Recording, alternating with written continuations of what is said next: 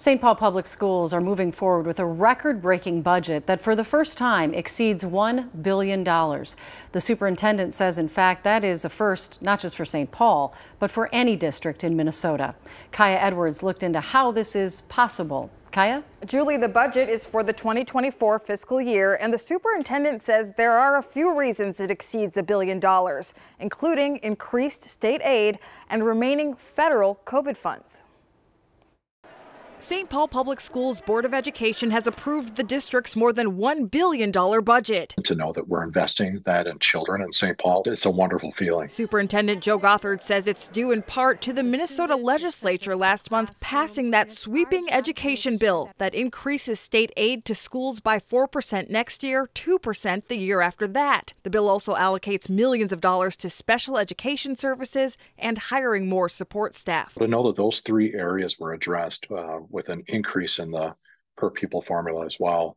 Um, I can't say thank you enough. The state aid is tied to student enrollment, and Gothard says numbers are holding steady with increased enrollment this past spring compared to last fall. I don't know in my six years here if we've been able to say that. Another reason the budget's so big remaining federal COVID relief funds, which must be spent by December 2024. Our federal funds, the, the last installment, the American Rescue Plan or ESSER 3, came at a time in 2021 where I was told SPPS was to receive $207 million.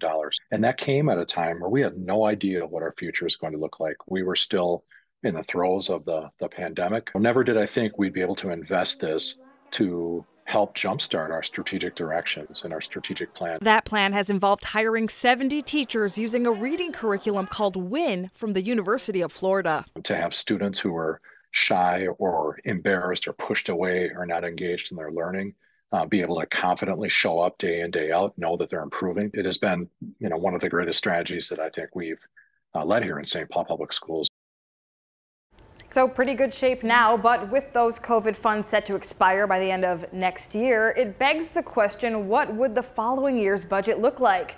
Gothard says they will come up with a prioritization process, looking at investments making the biggest difference in kids' lives, and then deciding what can continue to be funded and what needs to go. Julie? Mm, always hard choices. Thank you, Kaya. Well, just last week, the Minneapolis Public School Board approved a $755 million operating budget as that district is facing a $42 million deficit and could very well run out of money by the 2024 2025 school year. The district blames severely declining enrollment and COVID federal money that is set to run out next fall. That could lead to schools closing and staff layoffs in the future. After